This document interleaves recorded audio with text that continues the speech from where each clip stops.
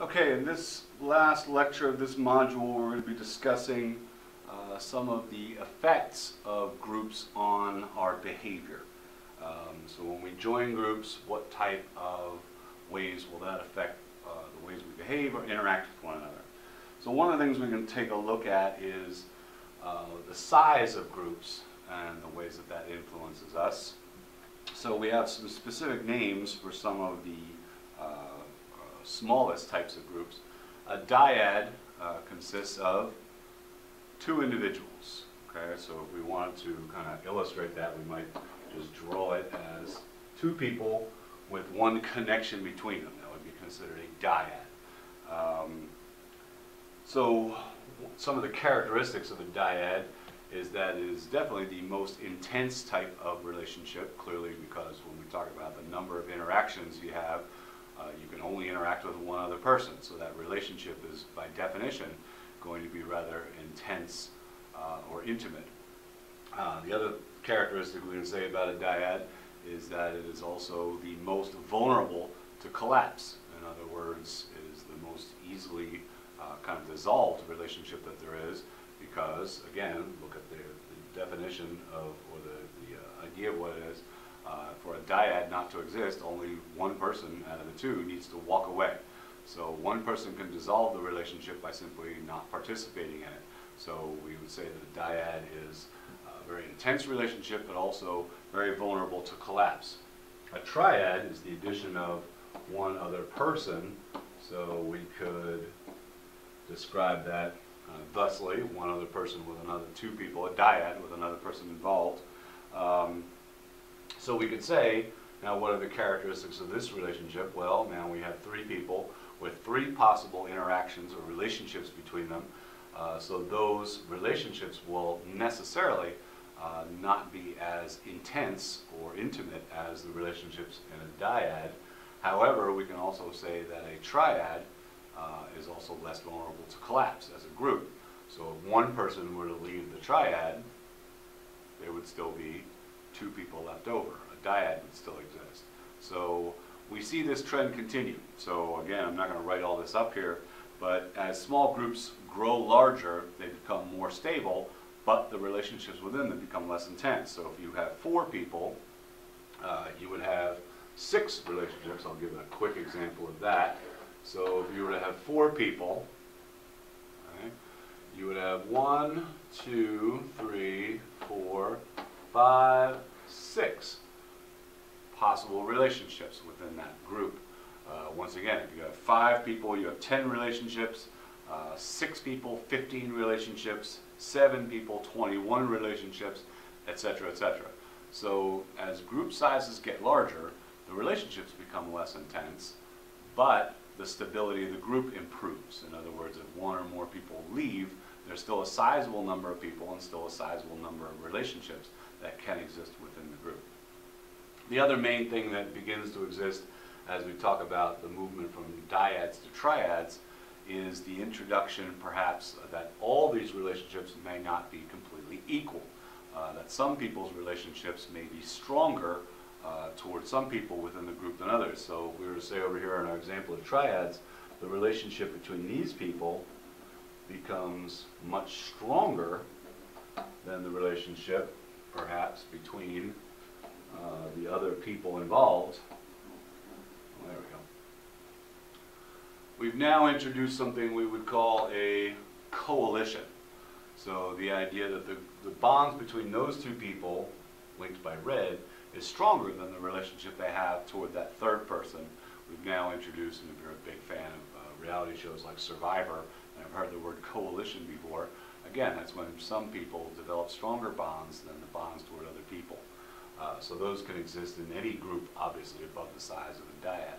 So once again, as groups get uh, bigger and more formal, then we start to see not only more stability of the group itself, but less intense relationships and the possibility for uh, these things uh, we call coalitions. Another, uh, as groups get larger, another phenomenon we see is something we call the diffusion of responsibility, um, sometimes called not my problem or, uh, again, not my backyard syndrome, those kind of things. Uh, the example I usually give of this, if it's, let's go back to the example of a triad. If you and one other person were sitting in a room, let's say a library, a classroom, working on something, and the fire alarm went off, it would be pretty reasonable to expect that the two of you would quickly uh, look at each other and say, that's the fire alarm, let's get up and walk out of here. And you probably evacuate the room rather quickly. Uh, and I actually had the pleasure of using this example uh, one semester in a class where this exact same thing happened. So if you have a, a room full, though, full of, let's say, 20 or 30 people, and the alarm goes off, what's likely to happen? People are much more likely to look around at each other and not act. So one of the other things we definitely see as group size increases, we see this diffusion of responsibility where uh, the group as a whole tends to react to stimuli with less urgency. In other words, an alarm goes off and everybody looks at each other and there's a, just a general hesitation. Who's going to do something first? And if nobody does anything, uh, then it's likely that, that a whole room full of people might be sitting there when, again, a teacher or somebody like that enters the room and says, don't you hear the alarm going off? Why didn't you get up and leave the room? And of course, nobody will probably admit this, but the answer is, I was waiting to see what other people would do, okay? So we definitely see that uh, this diffusion of responsibility, actually, as social creatures, as much of a social creatures as we are, we tend to find very large groups uh, to be somewhat distracting because kind of instinctually, or I guess a better word is socially, we find it difficult to maintain that many interactions with individuals at one time. And large groups will generally tend to break down into smaller, more manageable groups. Again, the example I usually give, um, if you go to a party or a social event, you know, uh, let's say you go to a party where there's 20 people at somebody's house, is it likely that those 20 people are all standing or sitting in a large circle where they can all interact with each other? Probably not. That would probably be pretty distracting to most of us, and we would find ourselves pretty uncomfortable with that situation. So even if you were at a dinner party and you were sitting at a big long table, it's unlikely that you're going to be trying to interact with people who are much farther away from you than one or two people away. And certainly when we're given the freedom uh, to move about, we then tend to cluster into smaller groups. So you would find one group of people talking about something over here, maybe a group of three and another group of people with another shared interest talking somewhere else. So large groups, unless they're, like I said, incredibly rigidly form, or, uh, formalized, uh, tend to break down into smaller, more manageable groups. Uh, when we introduce, uh, again, the idea of group dynamics, and this kind of comes back to that idea of diffusion of, of responsibility, if, let's say, the alarm goes off in a crowded classroom, uh, probably the class might not move until one person probably stands up and says, that's the fire alarm, come on, let's leave, and everybody would look to that person. We would probably then refer to that person as a leader. Okay? A leader is somebody who influences the behaviors, opinions, or attitudes of a group. Okay? And this is one of those times when I definitely make the, uh, the statement that you know, learning this is a, is, is a practical application. This has a practical application because most people who enter the workforce uh, or even continuing in college uh, are going to be hopefully put in positions in which you're uh, asked to be or required to be some type of leader. And we typically think of leaders in kind of a one-dimensional way as there's only one type of leadership. And as you can see here, there's actually two different types and three different styles of leadership. And knowing what situations call for what specific blends of these types and styles of leadership can actually be very, like I said, practical. I'll give you, uh, we'll talk about these definitions real quickly and then I'll give you some examples. So an instrumental leader is a leader who attempts to keep a group moving toward goals. Okay, it's their, that leader's job, his or her job, to get the group to a specific goal. Okay? Whereas an expressive leader is much more interested in the overall kind of harmony and morale of the group. So in other words, uh, kind of, you could say, kind of concerned with making sure everyone uh, is happy or contented in what they're doing and the, and the procedure toward goals becomes kind of secondary. Right? Within the styles, we have uh, listed up here authoritarian. An authoritarian style of leadership is a person who basically directs people without getting a lot of uh, what we call consensus. So the idea of, I'm just going to tell you what to do, I'm not really interested in hearing your suggestions or feedback. Uh, I'm not going to give a lot of necessarily, like I said, reinforcement, um, kind of, you know, just arbitrary uh, praise if that's necessary, but just the idea of, I'm going to tell you what to do, and that, that's the style of leadership.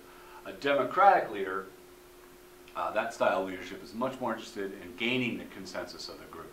So asking for people's opinions, uh, kind of weighing checks and balances, or trying to kind of come along with a solution that might be uh, uh, welcome or uh, acceptable by at least the majority, if not everybody, uh, in the group. And then the very last one is kind of laissez-faire. And specifically, that means, in French, hands off. Okay? So again, the, the style of leadership would be to maybe put a group on a direction, but then with very little supervision or feedback, just kind of then let them go their own way. Okay? So now let's talk about a couple of different examples. So we have these two types and three styles of leadership. Uh, if we were all together in one place, kind of in a traditional classroom setting, and I were to say, okay, I'm forming a softball team and we are going to play the other classes at the campus we're at or the other classes within the social sciences department and I want to win. Okay, I want uh, our sociology, our intro to sociology class to be the best and I want that trophy. What type and style of leadership, if I'm assuming I'm going to be the coach or manager of the team, are, are we going am I going to employ? I would clearly say that I would probably employ an instrumental, authoritarian style of leadership. Okay? Our goal is to win, and I'm, as a coach, I'm going to uh, use an authoritarian style of leadership. So instead of just showing up at practice and saying, okay, who wants to do batting practice, or what, I would say, okay, we're going to run laps, uh, then we're going to do batting practice, and then we're going to do some fielding exercises, and then we're going to do some more laps, and then we're out of here, okay? And I don't necessarily want to hear your opinion about what you want to do or hear any complaints, right? I'm just, I'm directed at a goal and I'm going to tell you how to get there.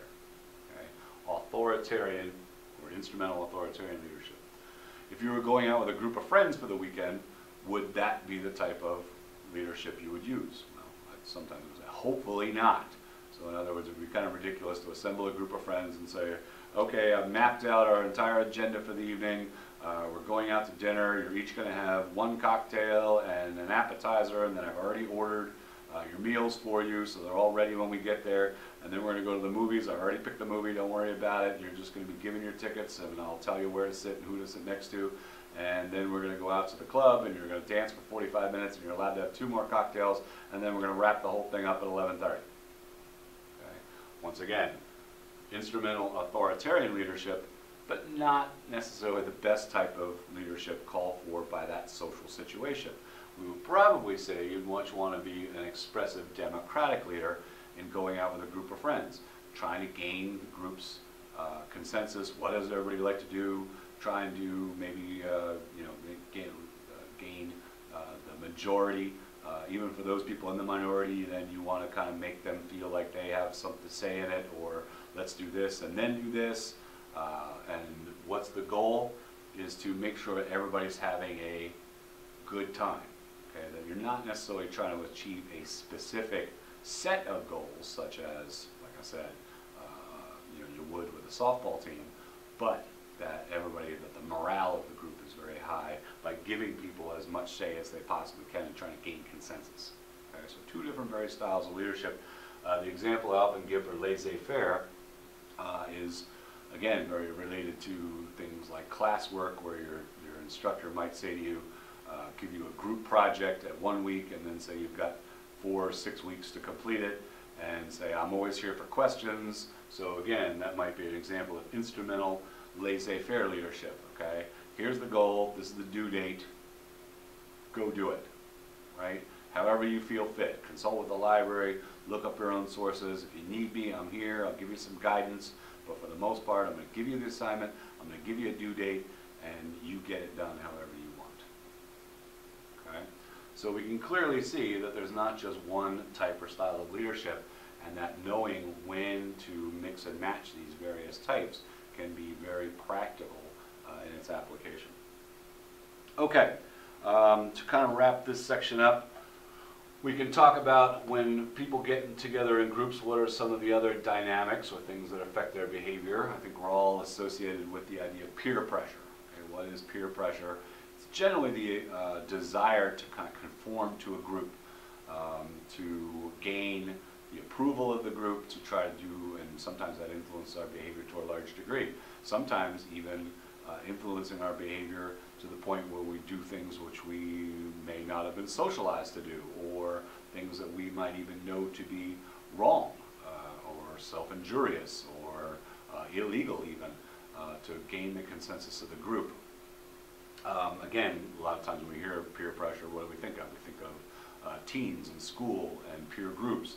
So uh, mother and father have raised their child their entire life not to drink or smoke or do drugs, and that child then is going to be subject to the pressure of peers to experiment with those things. You know, come on, do it, you'll be cool, those kind of things. So peer pressure, uh, a lot of times, it's our desire to conform to the standards of a group that sometimes even conflicts with our own desires.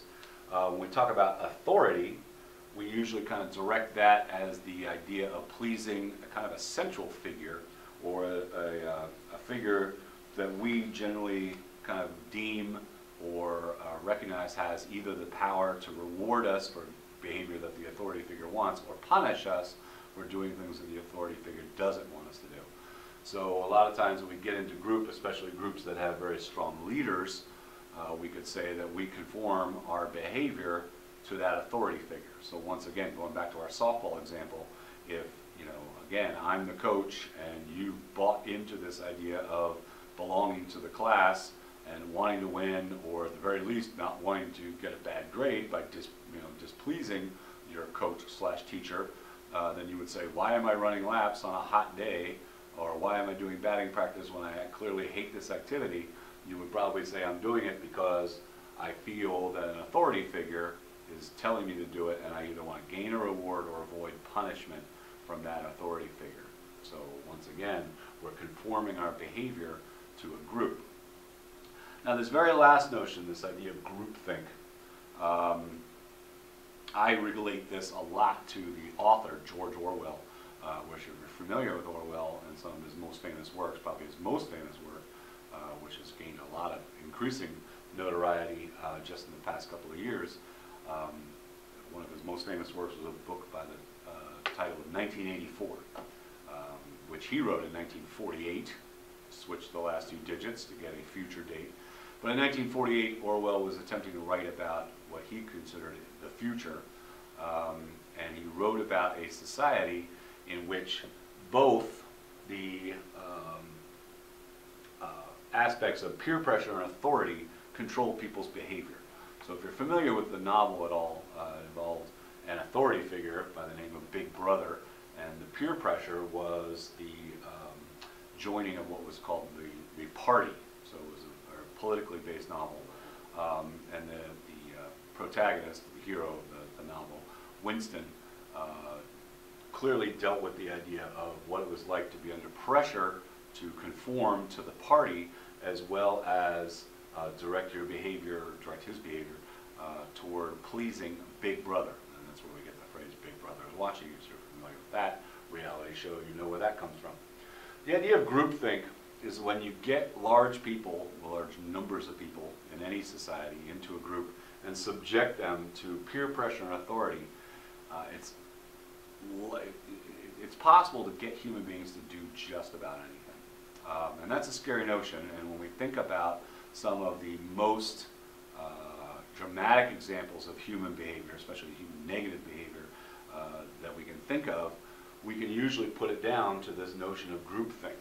Okay, so an example uh, often given is the Holocaust. So we talk about Nazi Germany in the 1930s and 40s uh, and the extermination of 12 million people at the hands of generally a very small group within the society.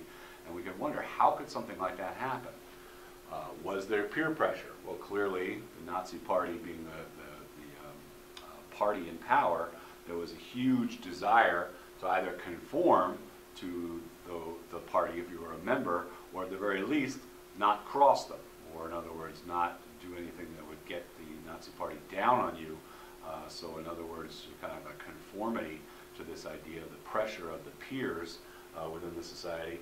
And clearly, if we're talking about Nazi Germany, uh, both pre and during World War II, the authority figure would have been clearly Adolf Hitler. And it's no uh, surprise that uh, in German, the title he chose for himself was Der Führer, which literally translates to the father. And most of us can not imagine much more of an authority figure than your father, and that you know the, the, the salute and uh, the uh, salutation of Sieg Heil, that idea of uh, pleasing an authority figure. And when you put those two things together, the idea of peer pressure and authority, once again, um, there is a lot of uh, room for a lot of behavior in human beings. Uh, so again, some other very dramatic behavior that we've seen, suicide cults, uh, Branch Davidians in Waco, Texas, um, you know, groups that uh, commit mass suicide, uh, Jonestown or Jim Jones in, in French Guyana, or um, uh, uh, cults that commit suicide at the approach of omens or uh, meteorites, those kind of things. These are all things that we can put down to behavior resulting from groupthink. The idea that there's only one way to think, we sometimes talk about as having blinders on, that encourage only one way of thinking, and that think outside of that orthodox type of thinking uh, amounts to basically betrayal of either the group or the authority figure. So I've included a video uh, in the D2L shell, which you're free to watch uh, after we've concluded this. Uh, it is just a uh, trailer for the movie adaptation of Orwell's novel, 1984. Uh, it's just a couple minutes long, but uh, once again, if you're thinking about this idea of groupthink and think about the influence of peer pressure and authority, as you're watching this clip, uh, try to um, identify the things you see in this, uh, like I said, three or four minute trailer uh, for this film uh, into examples of that. And feel free to use that as well in your discussion board or essay posts. Okay?